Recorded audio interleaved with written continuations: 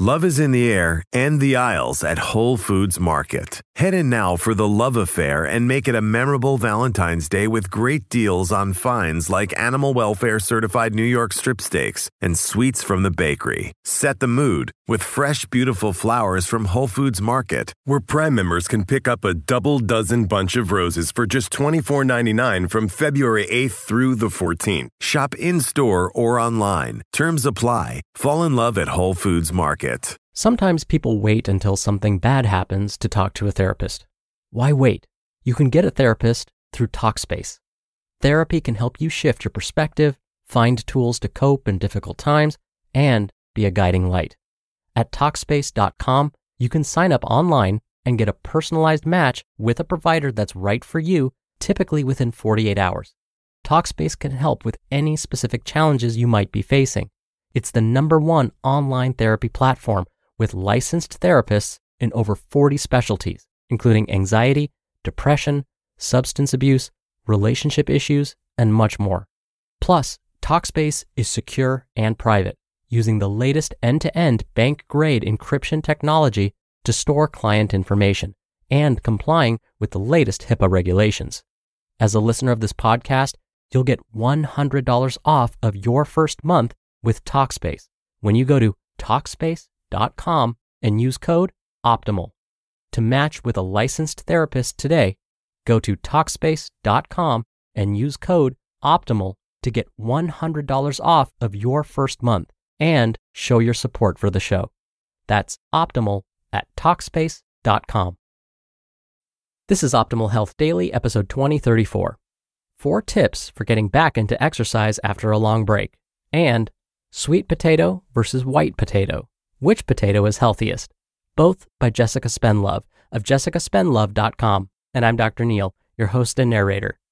Welcome to another Wednesday edition of Optimal Health Daily. Remember, this is just one of a bunch of podcasts where we read to you from blogs for free so that you don't have to read them yourself. Except on Fridays. That's where I usually answer your questions. Now, today is Wednesday, and like I do every Wednesday, I like to share a little bit of inspiration with you. And today's bit of inspiration comes from author Daniel Pink and his book, Drive The Surprising Truth About What Motivates Us. In the book, Daniel Pink encourages us to do the following Quote, Each night, ask yourself, was I better today than I was yesterday?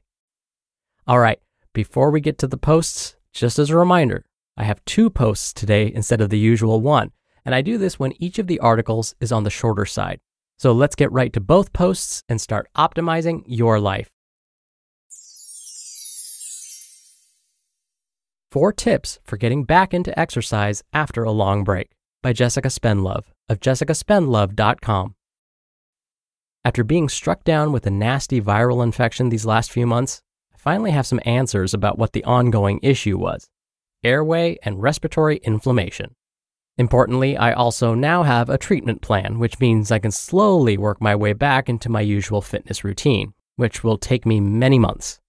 So, if you've had a big break like me due to illness, life, or just because, before you get back into exercise after a long break, there are a few areas you need to focus on to ensure you're getting the most from your sessions and regaining your fitness as soon as possible and injury free. 1. Sleep. Sleep is one area of health that many don't prioritize, but this is where the magic of rest and regeneration happens. Good sleep is about quality and quantity. So, aiming to get 7 to 8 hours of solid shut eye is critical to living and performing at your best. Aside from the obvious feelings of fatigue, a lack of sleep is also linked to poor health outcomes, including a higher risk of hypertension, cardiovascular disease, weight related issues, and type 2 diabetes, as well as reduced focus, productivity losses, and reduced athletic performance. Getting the right quantity and quality of sleep is essential to help restore energy, assist in muscle recovery and repair, as well as increasing your gains during a session. If you think you may need more sleep, start by going to bed 30 minutes earlier and see if this makes a difference in your output and recovery. If quantity isn't the issue, assess your screen usage and blue light exposure before bed. Try reading a book or listening to a meditation instead of scrolling. 2. Nutrition. Making sure that you're properly fueling your body pre and post workout is important for increased performance and quicker recovery. Pre workout meals provide sustained energy through the session, which helps to improve performance. Consume a carbohydrate rich source such as a slice of toast or a piece of fruit 30 to 60 minutes pre workout. And post workout meals assist with recovery, replenish energy stores, promote muscle growth and repair, and help to rehydrate. Include protein and carbohydrates in this meal, such as whole grain toast with eggs or a high protein banana smoothie.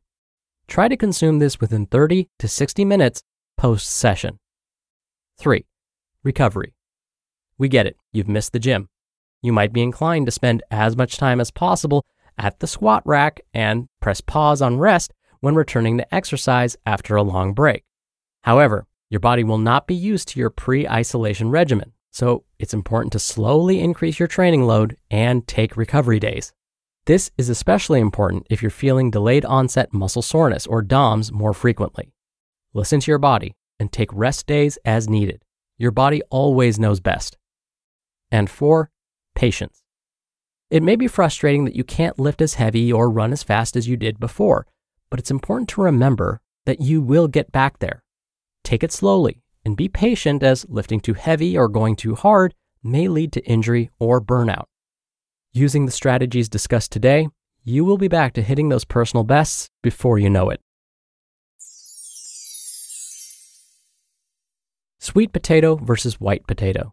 Which potato is healthiest? By Jessica Spenlove of jessicaspenlove.com. Sweet potato has earned a reputation as the healthier spud, but is that praise deserved? Here we look at the nutrition content of both sweet potatoes and white potatoes to determine which potato is healthiest. Sweet potato. Sweet potatoes are a wonderful whole food, fat free, concentrated source of complex carbohydrates. They contain a different set of nutrients when compared to the white potato, including almost double the amount of dietary fiber, both soluble and insoluble, about 3.1 grams per 100 grams, and plenty of vitamin C, about 30 milligrams of vitamin C per 100 grams. Sweet potatoes also contain healthy levels of vitamin E, about 0.81 milligrams per 100 grams. Vitamin E is important because it's an antioxidant that fights free radicals and helps with our immune system. Sweet potatoes also contain provitamin A, contains about 1,239 micrograms per 100 grams. Provitamin A is a dietary precursor of retinol, which promotes normal vision, maintains the health of our tissue and skin, and supports cell reproduction and growth as well as acting as an antioxidant. Sweet potatoes also contain healthy amounts of potassium, zinc, calcium, and phosphorus. They also do contain small amounts of iron and magnesium, but sweet potatoes do contain four times the sugar content when compared to a white potato. White potato. Well, you may be surprised to hear that the humble potato is equally as nutritious as its hip cousin, the sweet potato, and deserves a prominent position in healthy food guides. This humble whole food fat free white potato is a concentrated source of complex carbohydrates too, and is sometimes served as a comfort food because it delivers that satisfying feeling of fullness.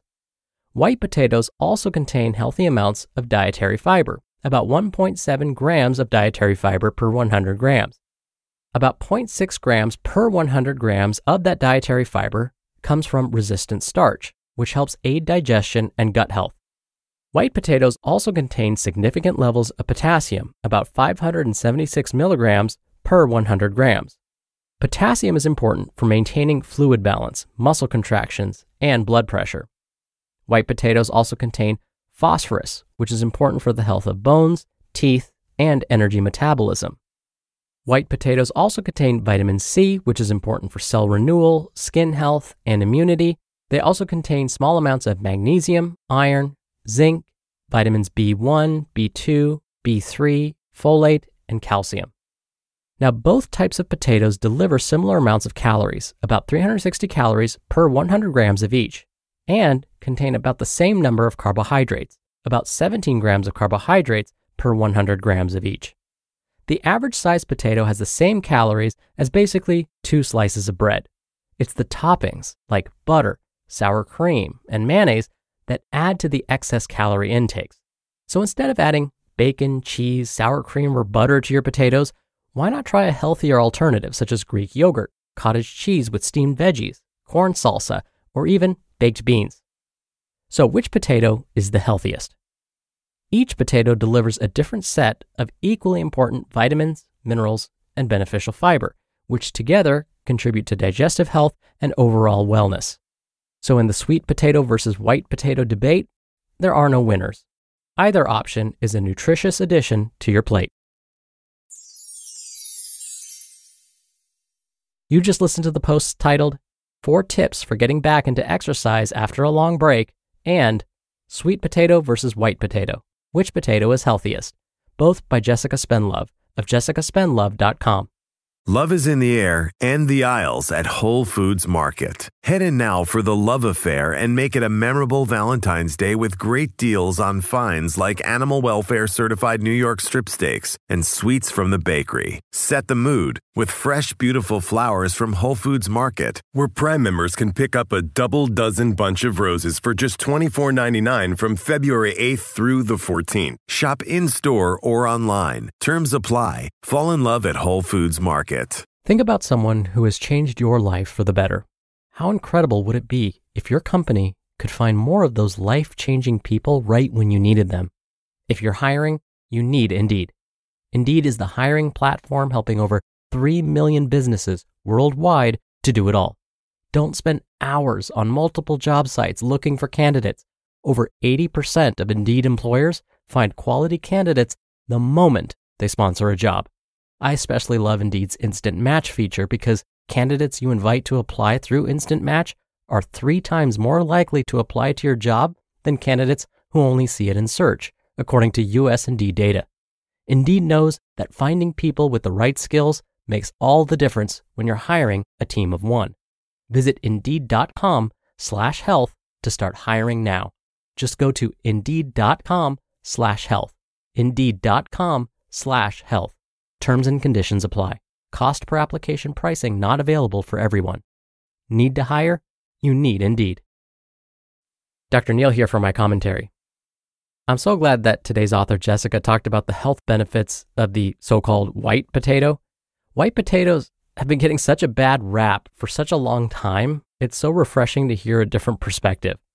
Now, I should also mention that a lot of the nutrients found in white potatoes are found in the skin.